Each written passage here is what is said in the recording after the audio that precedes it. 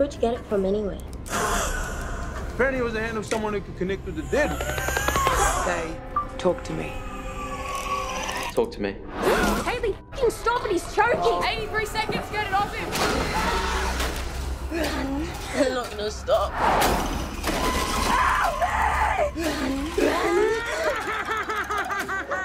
Oh my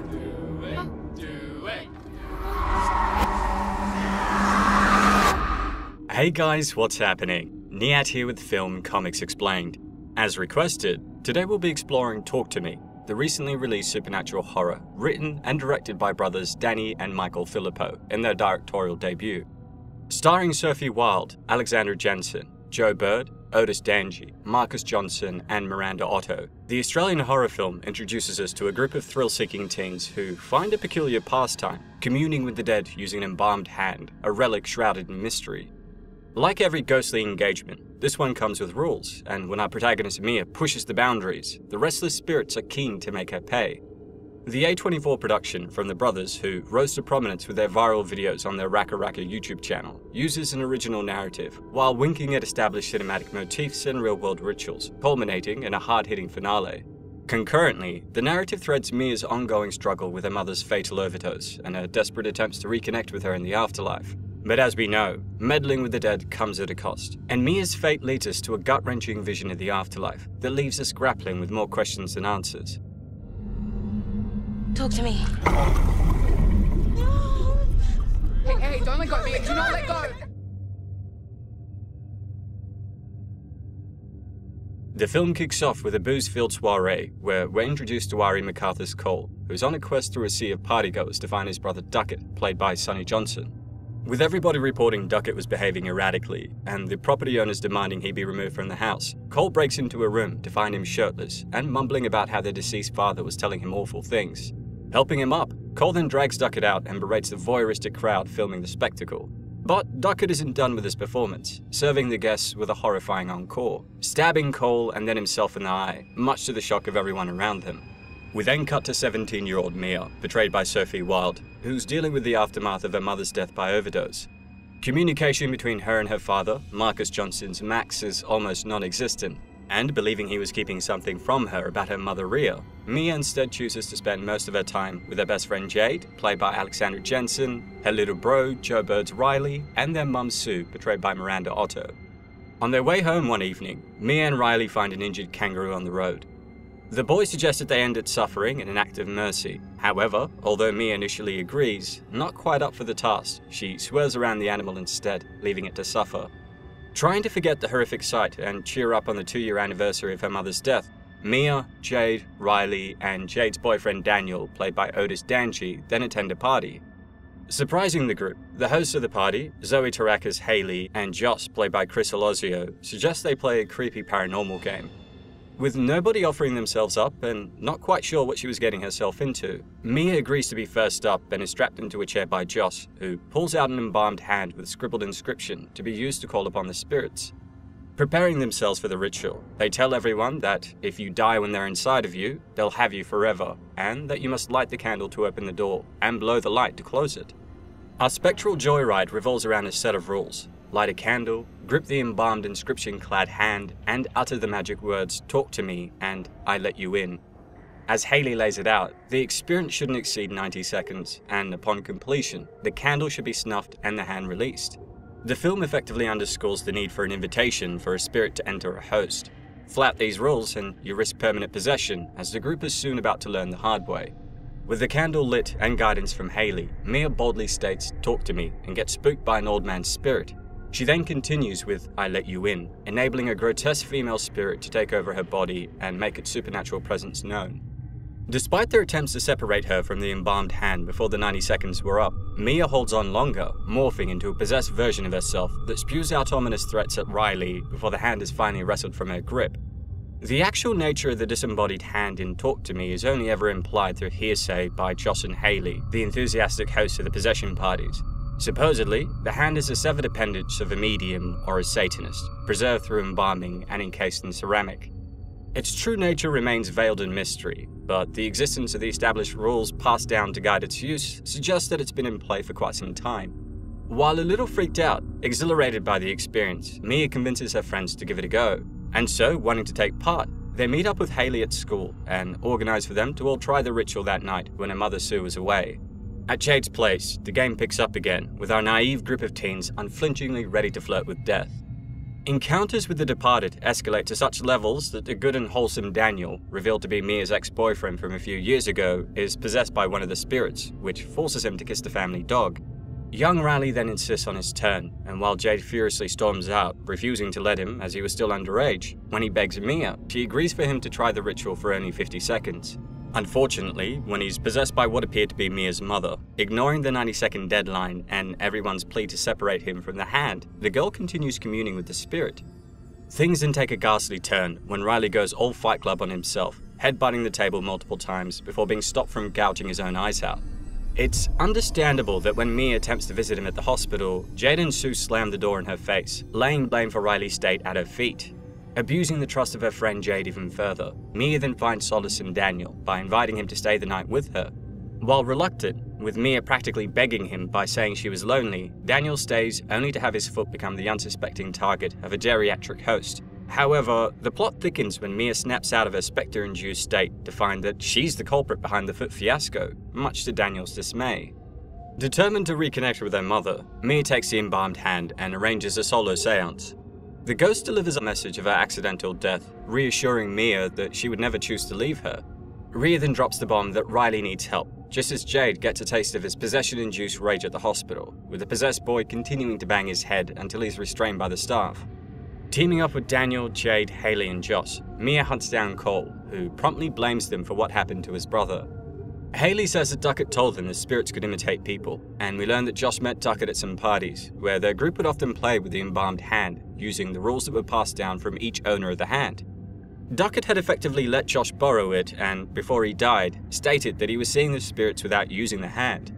Of course, he then stabbed his brother Cole and killed himself, tying back to what we saw at the start of the film. Despite his anger, after hearing about Riley's predicament, Cole explains that the apparitions would have just left them alone if they stopped using the hand, he also notes that Riley's body should kick the entity that has possessed him out, as they get weaker the longer they're in someone else's body. Like withdrawal, if a person can hold out for a long time without playing the game, they will get over the quote unquote psychic addiction they have to the euphoric sensation of possession.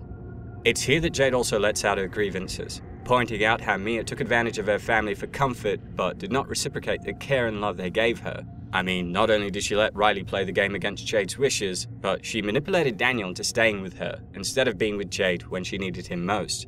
Still, while acknowledging her faults, Mia questions whether they'd blown the candle out on Riley's turn. She indicates that while they let the entity in, they might have forgotten to kick it out, hence why the body did not reject the spirit yet.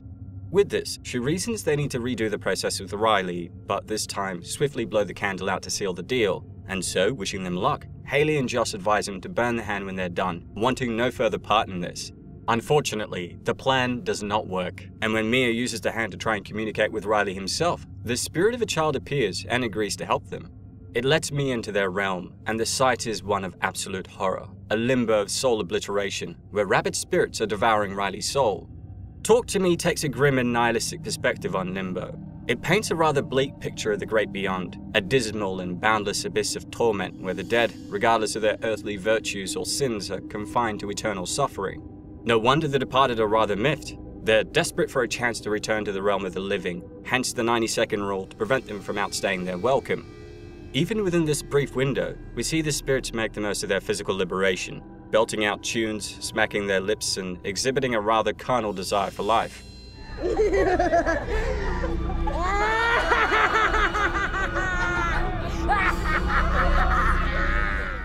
Returning home, Mia is met by her father Max, who comes clean with the tragic truth about Rhea's demise. She didn't overdose by accident, but intentionally, a revelation delivered through her suicide note. But as Mia reels from the truth, Rhea's spirit outer chilling Leo, accusing Max of fabricating the note and claiming that Riley's salvation lies in his death. Unfortunately, a violent encounter with the deceptive spirits results in Max getting stabbed in the neck by a disoriented Mia. Beginning to lose her mind in a dramatic switcheroo, Mia lures Jade away from the hospital, granting her a solitary audience with Sue, who absolves Mia of any guilt concerning Riley's condition, and even grants her some time alone with him. In a desperate bid to end Riley's torment, Mia contemplates the unthinkable, but ultimately fails to muster the resolve. She then attempts a wheelchair escape with Riley, just as Jade discovers Max's predicament and realizes Mia's intention. In the climax, Mia is on the brink of sacrificing Riley to free him from his spectral tormentors by pushing his wheelchair into oncoming traffic. But in a devilishly ambiguous shot, we see Mia colliding with the cars and meeting a grisly end on the tarmac. We're left guessing whether Jade shoved Mia, or if Mia decided to offer herself to the spirits in exchange for Riley's life, or maybe, just maybe, she couldn't bear her mother's spirit nudging her towards homicide. Awakening from her corporeal form in the hospital, Mia immediately follows Jade, Sue, the rejuvenated Riley, and her father Max, who seems to have dodged the Grim Reaper, mirroring Cole's survival in the opening sequence. Here, the nightmare of the mirror without a reflection, hinted at earlier, comes full circle. The finale sees Mia surrounded by an all encompassing darkness, with only a distant speck of light as her guide, but here's the kicker. Instead of sauntering off into a bright, happy afterlife, she approaches the light, only to discover that she's become a ghost herself. A new group of youngsters in another country, hand in hand with the embalmed appendage, then beckon her to talk to them. This alludes to the notion that everyone in this limbo had been lured here by the hand before desperately tricking others to join them, hoping to come back into the real world. I let you in. At its core, Talk to Me is an intricate metaphorical journey through the dark woods of grief and the hardship of releasing the past. Whether it's clinging too firmly to a memory or an embalmed hand, the fallout can be catastrophically damaging, not just for the individual, but also for those who care for them. The film symbolizes the despair intertwined with grief and loss through the motif of possession parties. For those ensnared in the jaws of grief and depression, it's often easier to seek refuge in destructive means, be it the numbing embrace of substances or the distractions offered by parties and socializing. There's a very clear parallel to be drawn between substance abuse and Mia's dependency on the embalmed hand. Grief has such a stranglehold over the narrative that we see Mia, albeit subtly, navigating some of the stages of grief. These encompass shock and denial, guilt and pain, anger and bargaining, depression, reflection and loneliness, the upward turn, reconstruction and working through, culminating in acceptance and hope. Each person traverses these stages in their own unique order, and we see Mia ticking quite a few of these boxes. Shock and denial make their presence known in Mia's obstinate refusal to accept her mother's suicide and her blinkered vision clouded by the spirit's deception. Mia is effectively a vessel for guilt and pain, not only revolving around her mother's suicide, but also concerning Riley's injuries, for which she's partly to blame. Her simmering anger towards her father is palpable, and the loneliness she felt prior to bonding with Jade and Riley comes to the surface in several instances. It's a pity, however, that Mia never traverses the final three stages, with the optimism of reconstruction, acceptance, or hope being replaced by despair as she's devoured by the perils of the embalmed hand and becomes a lost soul herself. This tragic arc is ominously foreshadowed by the gut wrenching scene with the kangaroo at the very beginning, where Mia is unable to put the severely injured creature out of its misery. She basically refuses to take the necessary steps towards closure, choosing instead to let the creature endure pain in an effort to shield herself from more sorrow. Mia's stubborn resistance to moving on from her past is the driving force behind her actions throughout Talk to Me, which culminates in a tragic finale She's swallowed by her own loneliness and grief, which will now haunt her for eternity as she wanders in limbo as a lost spirit. No. Please. It's my mom's Remembrance Day. I just want to forget about it. I could see and feel everything on the other side. So my mom, she was trying to reach out. While the narrative skeleton is familiar territory to anyone who knows their possession horror, the Philippou brothers breathe new life into it with a few intriguing twists and a grounded approach. The line between objective reality and Mia's demonic tainted perspective is beautifully blurred. We see great use of practical effects, stellar cinematography, and a unique and effective sound design that supports an amazing cast. There's an ongoing ambiguity about whether the ghostly apparition of Mia's mother Rhea, played hauntingly by Alexandria Steffensen, is a bona fide spirit or a demonic charlatan, and the brothers don't speed feed us the answer. From a tormented Rue breathing its last in the middle of the road to a stark scene of appalling violence, Talk to Me doesn't hold back on delivering the blood chilling elements that set it apart. First off, we've got Sophie Wilde, who admirably shoulders the film by portraying a character ridden with grief, craving closure, and terrified at the horror she's unwittingly set into motion. Her transformation during the possessions, along with that of the other teens, is amazing, and I was thrilled to see the commitment they had in those scenes. Mia is a tragic protagonist that doesn't learn from her mistakes, and the film doesn't hold back to let you know how addiction and the inability to let go can destroy your soul. Then there's Joe Bird, delivering a portrayal of a good kid pressured into making a bad decision and forced to deal with the terrifying consequences of this action. Alexandra Jensen is also solid as Jade, the loving and considerate friend who opens her home to Mia, only for her friend to take advantage of their family for her own personal needs. The betrayal she feels is intense, and the movie gives her an opportunity to tell Mia the depth of her pain and disappointment. Otis Dhanji was great as Daniel, a nice guy with split loyalties that also gets taken advantage of, while both Chris Alosio and Zoe Terakes deliver commendable performances as Joss and Haley, two ne'er-do-wells with personality. It's no surprise that Miranda Otto nails it as Sue, a single mother with a healthy relationship with her kids that is shocked to see them betray her trust. Otto adds so much wit, humour, anger, and love to her limited screen time, showcasing her range with ease, while Marcus Johnson also delivers a commendable performance as a broken father trying his best to reconnect with his wayward daughter. It really would have been nice to see more of their relationship, making the tragedy of Mia's demise all the more heartbreaking for Max. Sure Talk to Me has its roots embedded deep in its genre and echoes the Insidious franchise with its boy trapped in purgatory trope, but the film also illustrates precisely how indie horror films can be so inventive. In an era where horror flicks are becoming increasingly safe, using cheap thrills and easy scares rather than the gnawing dread that keeps you up at night, Talk to Me is an uncompromising shot of real, gut clenching horror. Hats off to the Philippous. They've taken their budget constraints, young cast, effective filmmaking techniques, and dark subject matter to tell an original allegorical tragedy about troublesome youth in the suburbs. The hand is a physical representation of the themes. Uh, the film is about connections, true ones and false ones, and the hand is a false connection. With that said, that's all for today, folks. A huge thanks to everyone that requested we cover Talk to Me.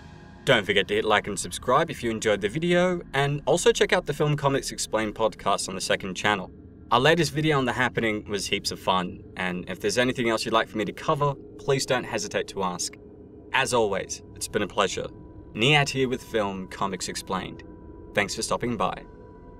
You busy tonight? You want to turn, eh? My mum leaves at nine. So you're 10. What did the hand feel like? It felt amazing. What if we opened the door but we didn't shut it? Delete it. Delete it, come on!